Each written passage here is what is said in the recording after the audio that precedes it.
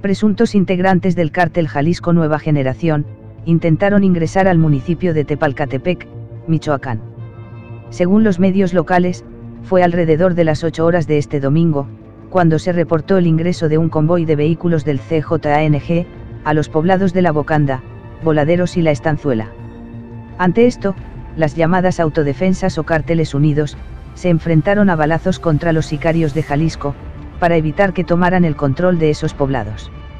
Al lugar del enfrentamiento, acudieron elementos de la Guardia Nacional, Ejército Mexicano y Policía Estatal, con el apoyo de un helicóptero estatal.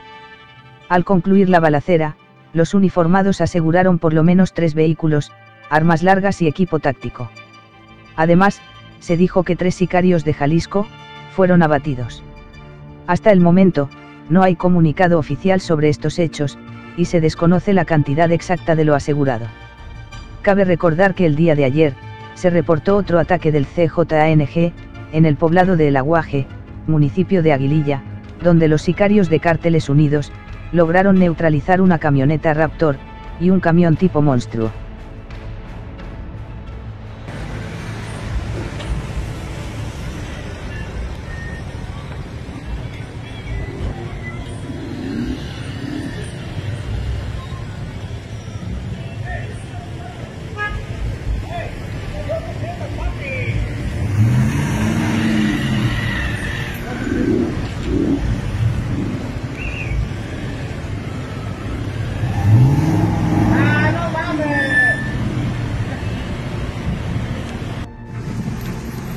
Nomás, era nomás lo que le decomisamos a las calisquillas, ¿eh?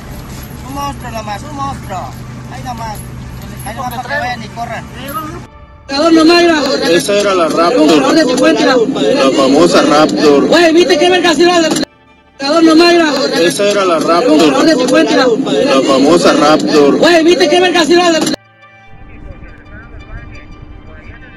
Ahí nomás la Raptor, papá. Ahí quedó la Raptor famosa.